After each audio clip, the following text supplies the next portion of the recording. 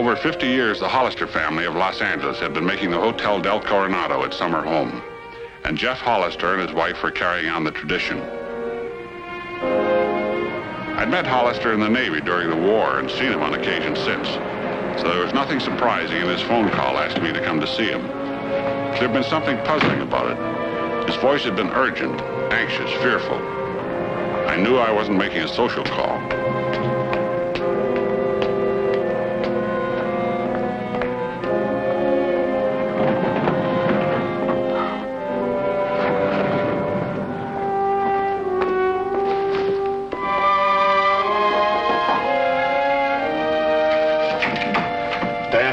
Thanks for coming. Uh, I see you again, Jeff. I wish it were under different circumstances. Oh, I, I don't think you know my secretary, Ann Chapman. Miss Chapman? What's the trouble? It's Myra. She's been kidnapped. I received a letter about an hour ago, special delivery, demanding a $50,000 ransom or I'd never see Myra alive again. I'm just waiting instructions. Well, could I see the letter?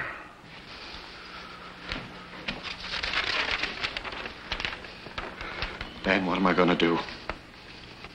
Well, the first thing you're going to do is notify the police and the FBI. But the note says it... I know what the note says. Kidnapping is a felony, and we're not going to compound it by keeping quiet about it. At least I'm not. Meaning that if I don't go to the police, you will? I'll get my coat. And would you call Davis in Los Angeles and tell him to arrange for me to get $50,000 from the bank in Coronado? Yes, sir. Excuse me, Mr. Adams. I make the call from my room. Uh, Miss Chapman, could I ask you a question? You seemed very disapproving when I suggested bringing in the police. Did I? Well, maybe because I don't feel this is a case for the police. Why not? Do you know Myra Hollister? Only slightly. Well, I know her very well. It's a little hard for me to believe that when $50,000 is about to change hands, that Myra Hollister is just an innocent bystander. She's a souvenir of a slumming trip that Jeff Hollister took down in Old Town about five years ago. She was working in a Mexican cafe called the Alamo. And a week later, she married $5 million. It's a typical American success story. In other words, you don't like her very much. I don't like her at all. But if you think it's because I'm jealous or envious, Mr. Adams, you're wrong. She got exactly what was coming to her when she married Jeff Hollister. And now, if you'll excuse me.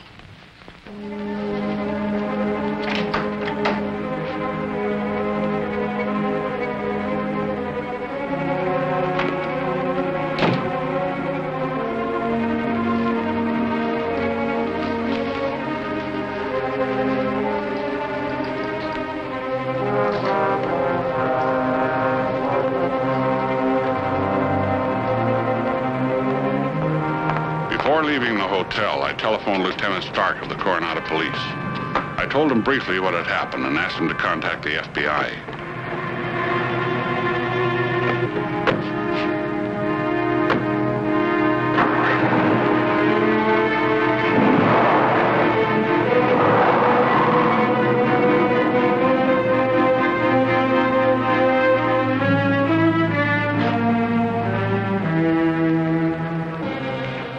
Suggested to Stark that he meet Hollister and me at my house in the event the kidnappers were watching Hollister's movements.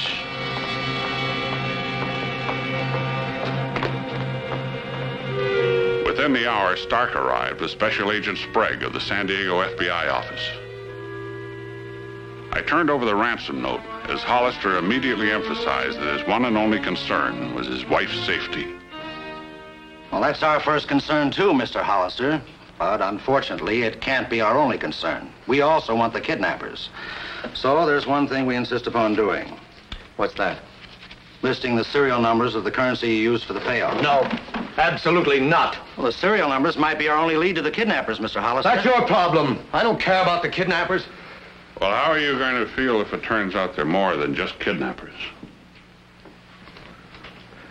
What you mean is, if Myra's killed.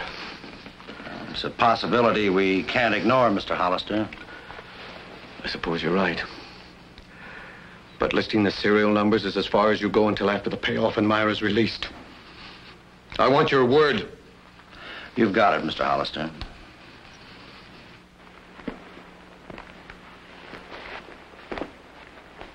Well, that's about all we can do here. We better start with the money. Uh, well, I'll go to the bank with him. After the meeting with Sprague and Stark, Hollister and I drove to the bank. A draft on Hollister's Los Angeles bank was waiting. The money was withdrawn, the number on each bill was recorded, and Hollister and I returned to the hotel.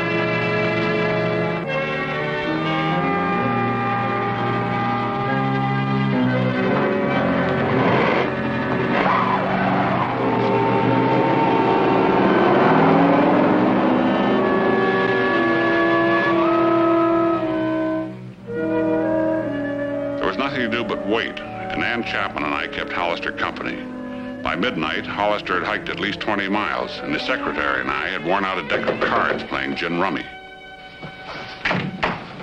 Sprague, what are you doing here? You had any calls from the newspapers or the wire services? No, why?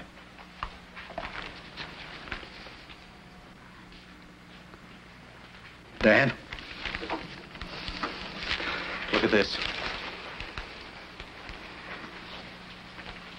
How'd the newspapers get a hold of this? From an anonymous telephone call, according to the story. But who? Oh, there's no way of telling, Mr. Hollister. The tip could have come from someone in the bank or the police department or your own company. One guess is as good as another. If anything happens to Myra because of that story.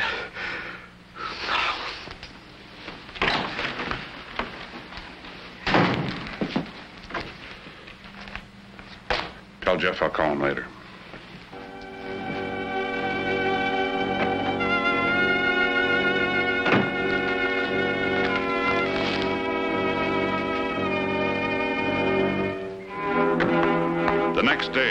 Had a chance to telephone Hollister, he appeared at my door with another special delivery letter.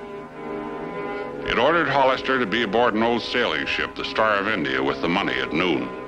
The ship, docked across the bay from Coronado, is now a floating maritime museum. The note warned that this would be Hollister's one and only chance to pay the ransom. If he failed to do so, his wife would be killed. But there was something wrong. It wasn't only that the first note had been neatly typed while the second was scrawled in longhand. A difference in wording and spelling indicated that the two notes hadn't been written by the same person. What's the difference? How can we be sure it's phony? Well, I think I'd want to be sure one way or the other before I paid out $50,000. It's 20 of 12. We haven't got time to make sure of anything. Maybe we have. How? Do you trust me not to do anything to endanger Myra's life? Well, yes, of course. All right, then let's go. Where? Star of India.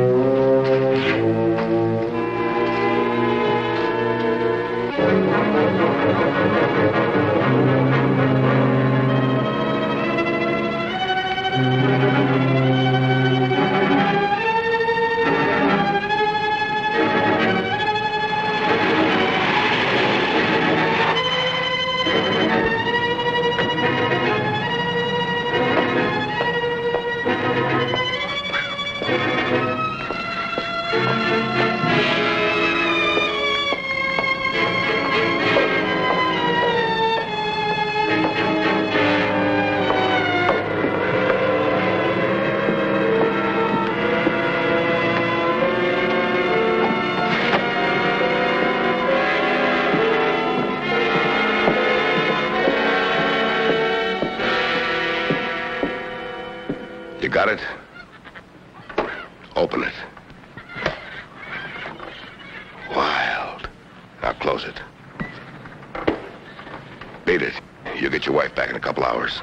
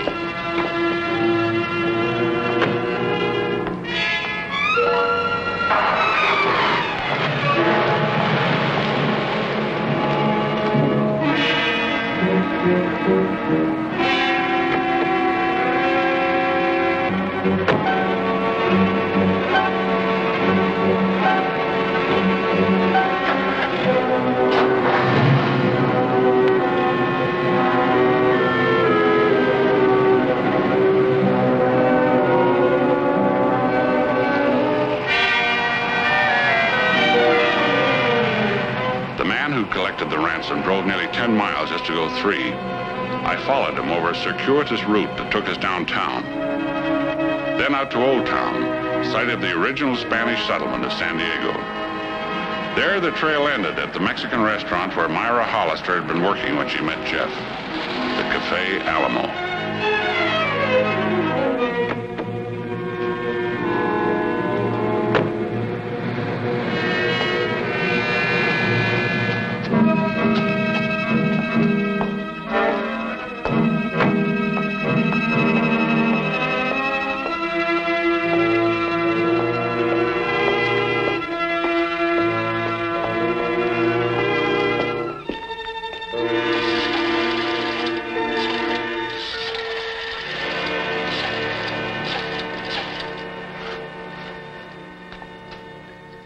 Hello, Trans-American Airlines. When is the next flight to Buenos Aires? Yeah, I'd like to make a reservation for one in the name of Nick Daggett. All right, put the phone down, Daggett. You're not going anyplace. Hey, what's the idea? Take your hands off that.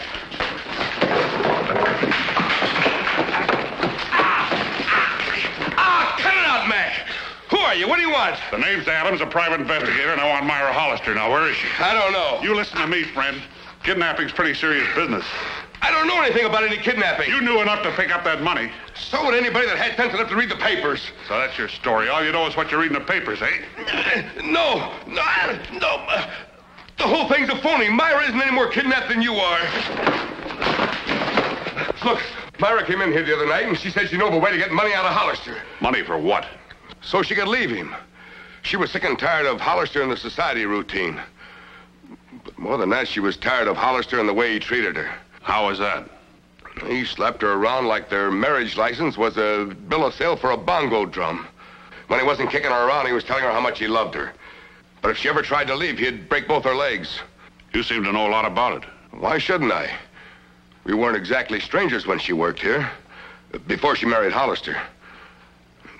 Then about a year ago, she started coming around here again, and we, well, you know, Go on.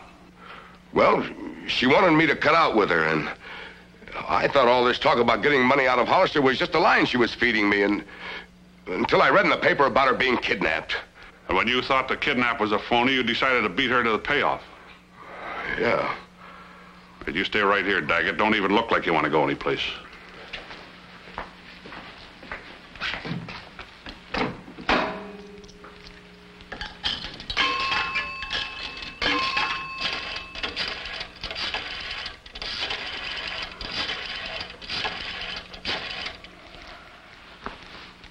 Special Agent Sprague, please. Oh, this Dan Adams. Message for me. What? How long ago? I see. No, there's no message. I'll be right in.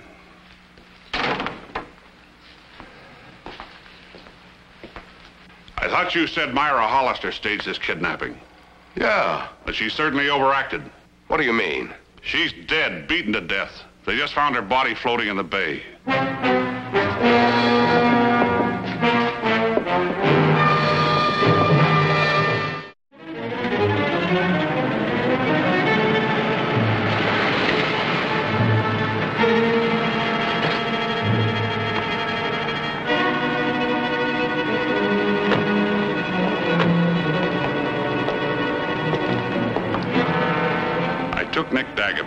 Police headquarters in Coronado, where Daggett told his story. After which he was booked on suspicion of kidnapping, homicide, and held for further questioning. Sprague and I returned to the Coronado Hotel, where Ann Chapman took the statement Sprague wanted from Hollister and me.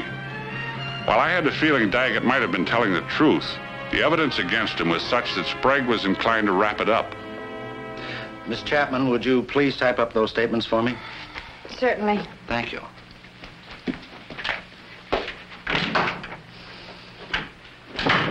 If you'll excuse me, I'd like to lie down a little while. Sure. I'll send someone around for those statements. Oh, that won't be necessary. When Miss Chapman gets them typed up, I'll bring them over to your office. Well, fine. See you later, Dan. Okay.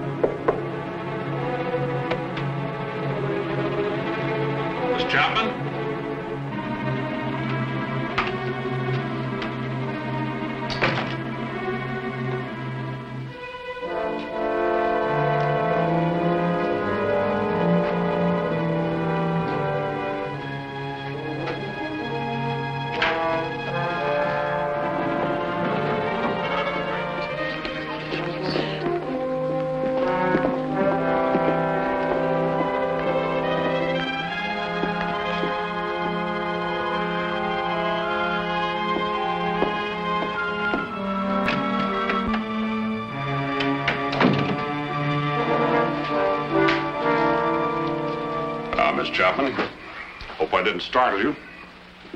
Oh, are those the statements? Is there something I can do for you? You can answer a question. What about? A remark you made yesterday about Myra Hollister.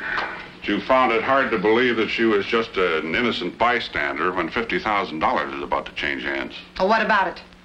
Well, it seems to fit in so well with Nick Daggett's story that Myra's kidnapping was just a fake. Well, the fact that Myra has been murdered would indicate the kidnapping wasn't a fake, wouldn't it? Well, appearances can be deceiving. Oh, Oh, what an original thought. Well, besides that, you gave me the impression that you don't like Jeff Hollister any more than you did Myra. Did I? Well, do you? Like Jeff Hollister? Well, let me put it this way. No. I'm just not fond of sadistic, self-righteous stuffed shirts in general. Then why do you work for him? Money, Mr. Adams. Three or four times more money than I can make anywhere else. You see, when a man likes to wipe his feet on people as much as Mr. Hollister does, he'll pay a big price for a good doormat. Now, if you'll just excuse oh, me, Oh, there's I'll- one other thing. While you were out, I took the liberty of going through your room. Well, did you find anything that interested you? Well, what I didn't find was more interesting. What was that? No typewriter. I've been using the typewriter in the hotel office.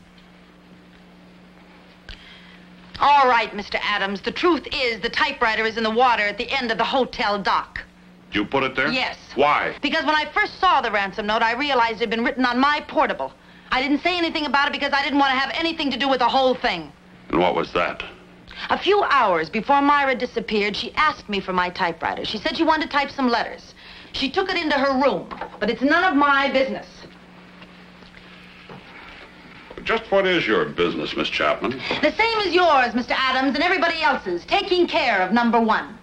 In one more year, I'm going to have enough money to kiss Hollister and this rotten job goodbye. That's all I want. That's all I care about. And if Myra wants to take Jeff Hollister for $50,000 with a fake kidnapping, well, then that's their problem.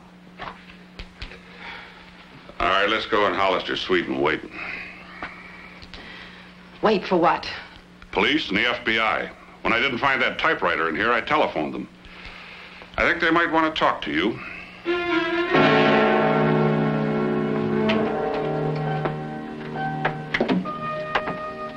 Then this proves that Myra wasn't kidnapped at all. But if Daggett was in on it with her, why did he kill her? Doesn't make sense. No, it doesn't. And why didn't you tell me you knew the note had been written on your typewriter? I told you why. No, Miss Chapman. You gave us a reason you'd like us to believe, but you haven't given us a real reason. What do you mean, Dan? I mean she wouldn't have kept quiet about that note and dumped the typewriter in the bay just to keep from getting involved in the troubles between you and Myra.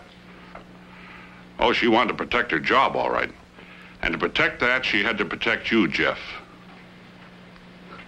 Protect me? She didn't get rid of that typewriter because she thought Myra had written that ransom note. It was because she was afraid you had. That's ridiculous. Not as ridiculous as thinking that Nick Daggett and Myra planned this kidnapping and then Daggett killed her before collecting the money. I think you killed Myra, Jeff. I think you killed her and then faked this kidnapping to cover up the murder. You're just guessing. It's a pretty good guess, isn't it? Too good, I'm afraid, Dan. Why'd you do it? Because you went back to the Cafe Alamo and Nick Daggett? The Alamo was her kind of place. With her kind of people, that's what she said. But she still liked my kind of money. She wanted $50,000 to keep quiet about how I'd gotten a couple of government contracts. How did you get them? Doesn't matter. Wasn't exactly illegal, but if she'd talked about it, the contracts would have been canceled and I'd have been bankrupt. So that's what Myra meant when she told Daggett she knew how to get money out of you. I'd have paid her, too, if I'd been the end of it. But she'd have been back. There never would have been an end. What do you call this? We'll find out. Stay here, Dan. I have nothing to lose.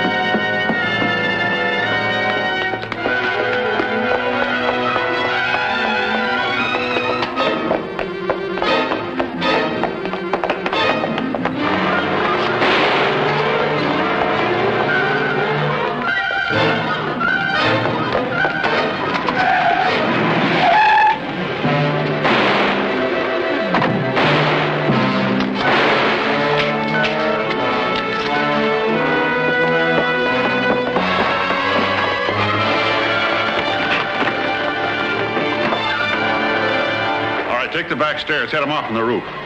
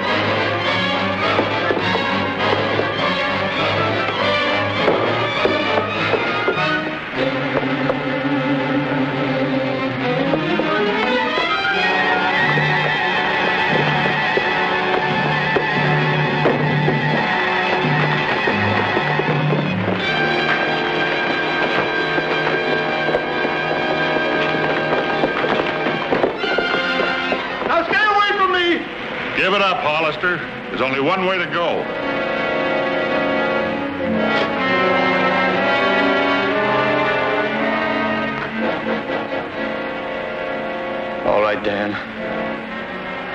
You win.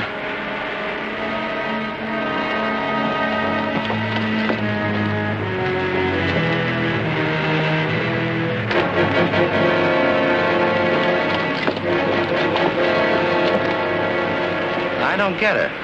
If it was just a question of money, why didn't he pay her? Ah, the money was just an excuse, not a reason. Everything might have been all right if Myra Hollister had done just one thing. Huh? What? Forgotten the Alamo.